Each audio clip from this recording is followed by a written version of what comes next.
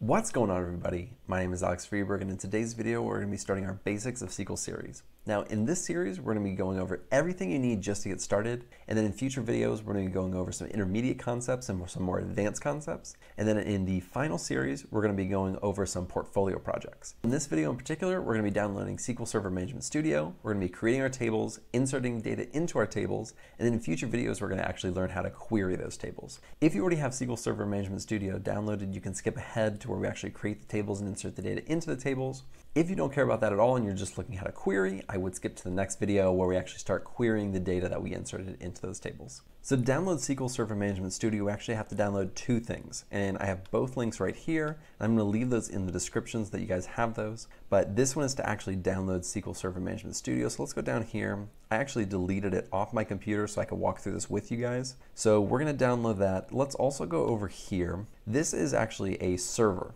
So we have to download a SQL Server, and if you go down right here, there's a free version. Now, I don't need the developer version, I'm just gonna download the Express version, it's actually smaller, so let's download that as well. Now, once this is done running, we're gonna open it up, and I'll show you what to do next. So it just finished running. Let's click on it. All right, so we need to install it. We're gonna click yes, and this is gonna take a little while. So this popped up, I clicked install, and it's been running for the past couple minutes. Apparently I was not recording, so I apologize for that, but that's all I did. So now it's been installed, I'm actually gonna pull it up right here, and let's open it up. Now when it pulls up, it's gonna ask you to connect to a server, and that's why we downloaded the SQL Express server. So let's connect to that, and there you go. It's as easy as that. So now we have SQL Server Management Studio set up and we are good to go. So the first thing that we need to do is actually create a database. So let's go over here to databases and let's click new database and let's just do SQL tutorial. Keep it simple. And if we click that, it's going to create our database for us. Now, when you open up the database, there's going to be a lot of stuff.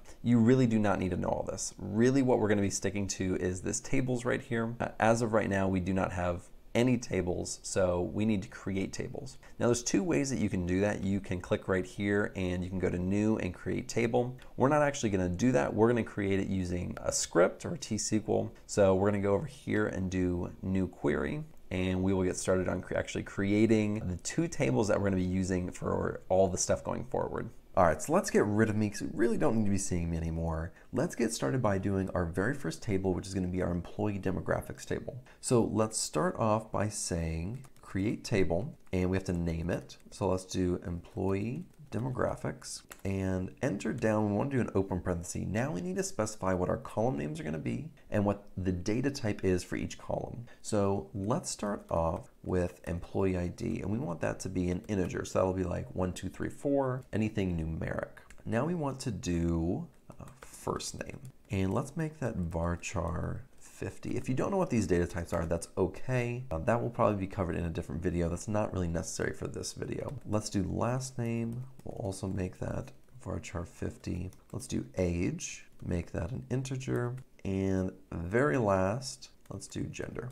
And we will make that varchar 50 as well. So now we have our very first table. Let's run that and we'll see if it works. We'll go over here, and we'll refresh our tables, and there you go. So we have our very first table. Let's go up here, let's get rid of this one, and now let's create our second table. So we're gonna do basically the exact same thing, but we're gonna have a little bit different information in it. This is gonna be our employee salary table. So let's do create table, and again, we need to name it and enter an open parentheses. So now we're going to do the same thing. We're going to do employee ID. Let's make that an integer. Now we want the job title because we want to know what they do. And this one is going to be varchar 50 because we keep it pretty simple. Whoops. And then for our very last one, we're going to do salary and that will be integer as well. So here. So let's create this table. Let's see if it is there.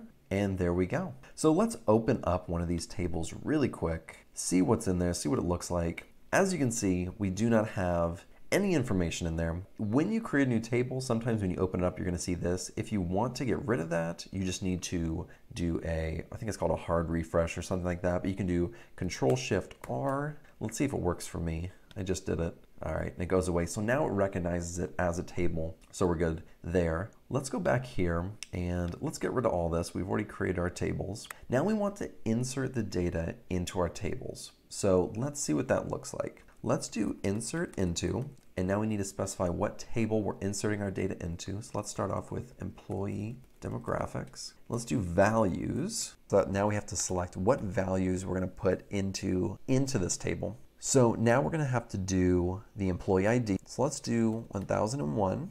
Then we're going to do first name. So let's do Jim, last name, Halpert, and then his age. Let's say he's 30 and he is a male. Now, just for fun, let's execute that. Let's go back to this table right here and execute. And as you can see, all of our information actually went in there. So now we have his employee ID, his first name, his last name, age, and gender. Now, we need a lot more information uh, for this table in order to actually learn a lot of the concepts of querying the table. So I'm actually gonna go through and add a ton more information. I'm not gonna bore you through that, but I will show you the final product before I actually hit execute. So stick with me. I'm actually just gonna cut to the end where I insert all my stuff down here. And then if you want that, I'll probably leave it in the description or maybe put it on my GitHub or something so that you can easily just go copy and paste that if that's what you wanna do. So I'll see you in a few seconds. All right, so I have all my values right here. I actually am gonna take this one out because I already did that one, but this is our additional information.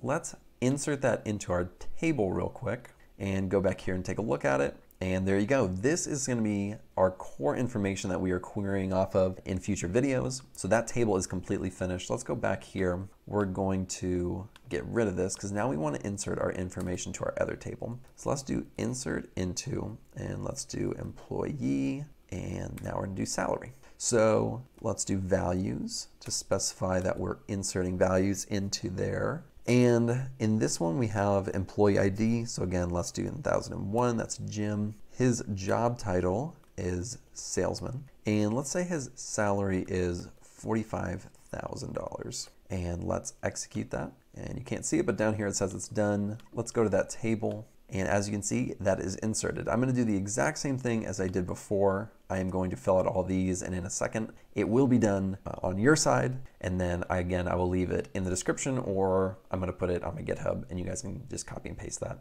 if that's what you wanna do, or you can write it out, whatever you wanna do. All right, just like before, I'm gonna get rid of this first one. That is Jim, he is already done. Now let's insert this information. It is finished. Let's go back here and there we go. Now we have both of our tables and we are good to go for future videos. So thank you so much for sticking all the way through this one. In the next video, we're gonna actually begin uh, querying the table and learning the select, the from, the where, the group by, and the order by statement. Everything is in these upcoming videos, so stick around and we will learn all of that together. Thank you so much for joining me. If you like this type of content, be sure to subscribe below, and I'll see you in the next video.